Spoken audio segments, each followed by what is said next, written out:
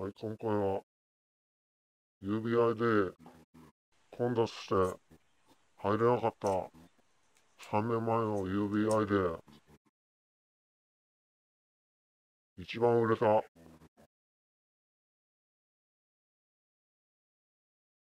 シックスコレクションミニフィギュアチビフィギュアの紹介をします。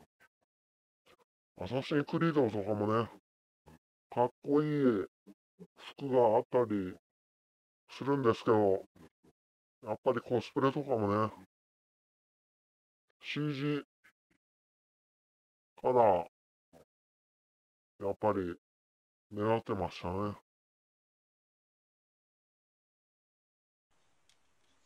はい、というわけで、これが箱です。あの、売るときは、プレミア化するんで、箱も取っておいた方がいいですね。これで、えーと、チャームの、あのー、コードが入っています。一時期はヤフオクとか、メルカリとかでも、高値で売ってましたね。売ってま、これ火花。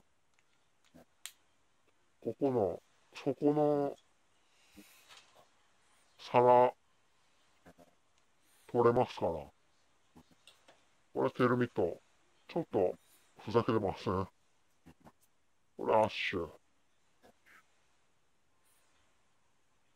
アッシュは FBI じゃなくて、アッシュって書いてあります。それから IQ。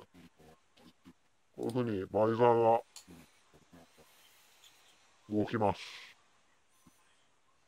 からさっきの家が、はじめですね、ここの、この家側のが一部が剥がれ落ちるというこのモンターニュも、これバイザー動くんですけど、この縦もですね、シールドも外れまして、これで固定できないので、接着剤でつけてしまいました。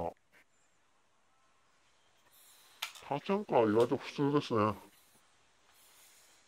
基準の、あのー、なんていうんですか、ま、それから、スレッチ。スレッチはこれ取れるんですよ。これで、これはめるところがあるのが見えるかな？うん、ちょっと、ぼやけてしまって、見えないか。あの、手にはめるところがあるんですよ。こういうふうに穴が開いててね。こっちが、ちょっと、とつってて。はめると、あのー、落ちない。こういうギミックになってます。はい。まあ、あんまり、まあ、違和感なく、あんまり、攻撃的な、暴力的な感じもしないし、まあ、あんまりオタクっぽい感じもしない人形になってます。